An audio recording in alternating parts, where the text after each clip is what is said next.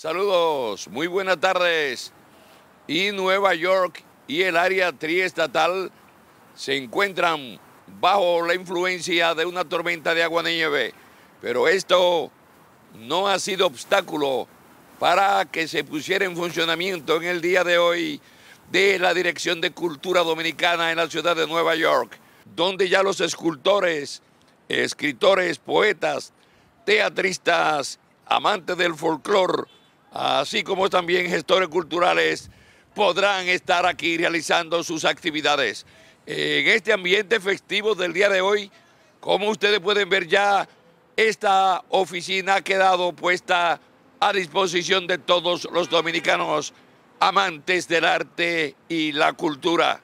Nos sentimos orgullosos de esta casa nueva que va a albergar a todos los artistas dominicanos, sin importar género ni ubicación política.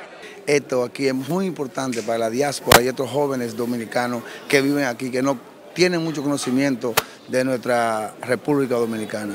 Aquí debe reinar la esencia del desarrollo cultural, de la identidad de los dominicanos, de nuestros hijos que han nacido aquí.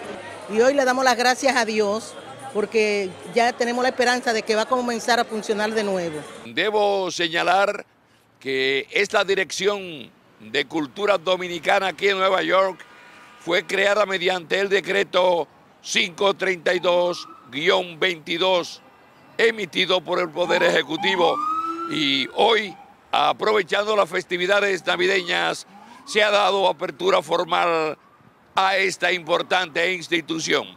Estoy transmitiendo directamente desde Nueva York. Manuel Ruiz, ahora nuevamente retorno contigo para que continúe con más noticias